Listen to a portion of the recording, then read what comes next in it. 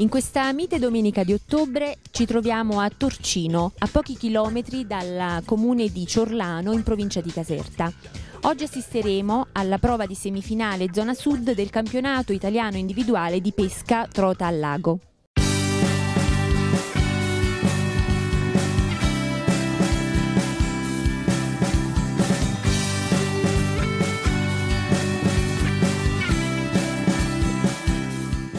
80 i concorrenti provenienti dal centro e sud Italia. Ferre e ben chiare le regole, consentite solo esche vive allo stato naturale senza alcun colorante, vietata la pasturazione. Altrettanto rigorose le norme comportamentali volte a non ostacolare l'azione di altri concorrenti e a mantenere un contegno corretto nei confronti degli ufficiali di gara. Siamo con Gianni Breda, responsabile acque interne del Comitato regionale Campano. È una gara difficile da gestire? Come sempre in tutti questi incontri così importanti c'è bisogno di essere tranquilli e di preparare le cose per bene. Eh, fin quando le cose eh, vanno tranquillamente si riesce a far mantenere calmi sia i concorrenti che la situazione di pesca, va tutto bene. Guai uscire fuori da determinati paletti, altrimenti poi la cosa ti sfugge di mano, diventa una scheggia impazzita. E allora niente, prepararsi bene a questa gara perché non deve essere trascurato nulla e dare soprattutto la massima tranquillità ai concorrenti, che sono loro i protagonisti di questa manifestazione. Tu sei solo il regista.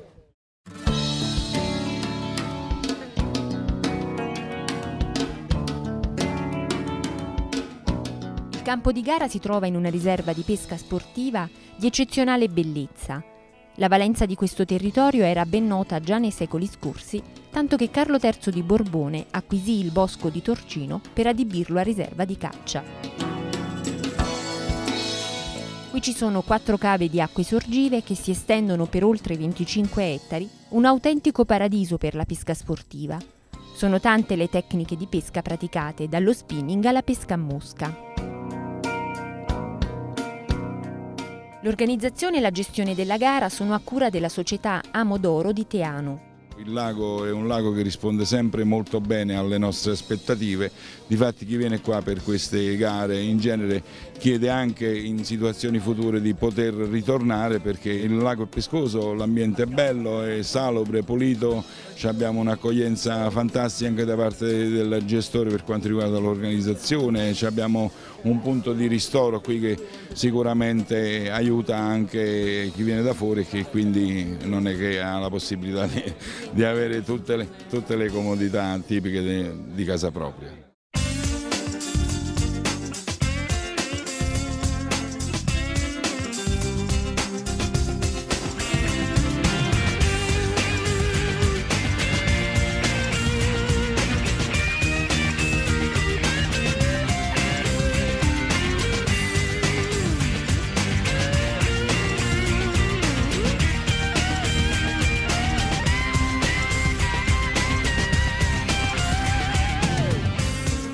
Tra i partecipanti vi sono i concorrenti con il miglior piazzamento al campionato individuale seniores di pesca alla trota in lago 2011, ammessi di diritto alla prova di semifinale. Cristian Torriani, campione a 4 a squadre 2011 del team Blue Marlin Tubertini di Roma, e il compagno di squadra Emanuele Consalvi, che nello scorso campionato italiano individuale ha sfiorato il podio aggiudicandosi il quarto posto. Samuele Campanelli della società S di Lenza Club di Iesi, responsabile del settore Trotalago, che troviamo nell'albo d'oro della società già nel 1998 nella categoria Juniores. Fabio Burini della società SP Alta Pinus di Macerata, Gianfranco Di Sante dell'ASD Aspes Colmic di Teramo. Unica presenza femminile è Liliana Giannattasio della società del pescatore di Potenza campionessa italiana femminile Trotalago 2008 e 2011.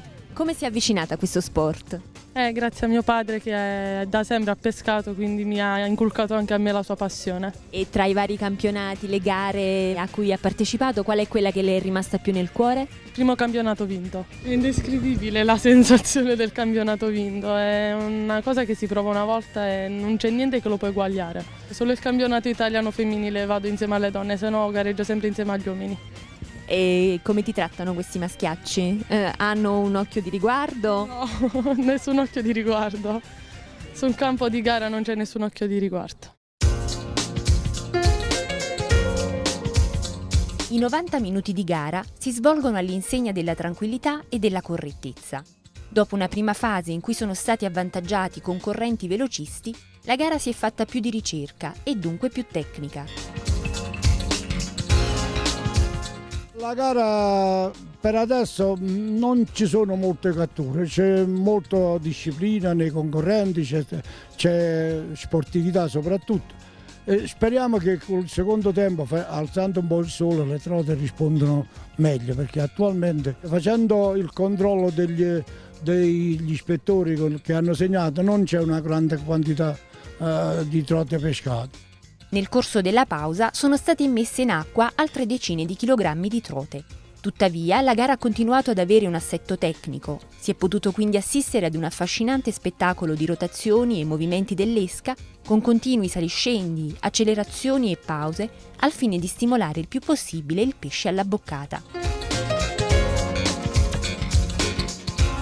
Dopo il segnale di fine gara si è proceduto alle operazioni di pesatura e alla stesura della classifica. I 35 concorrenti con il miglior piazzamento parteciperanno alla finale di Vicenza il 3 e 4 novembre per l'assegnazione del titolo di campione italiano Trota Lago 2012.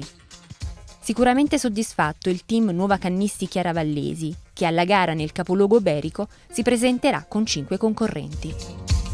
Buoni risultati anche per la top team Benevento con Bruno Infantino e Antonio Boscia, rispettivamente quarto e settimo in classifica di giornata. La manifestazione ha registrato una buona resa del pescato, circa 163 kg, a fronte dei 160 immessi in acqua.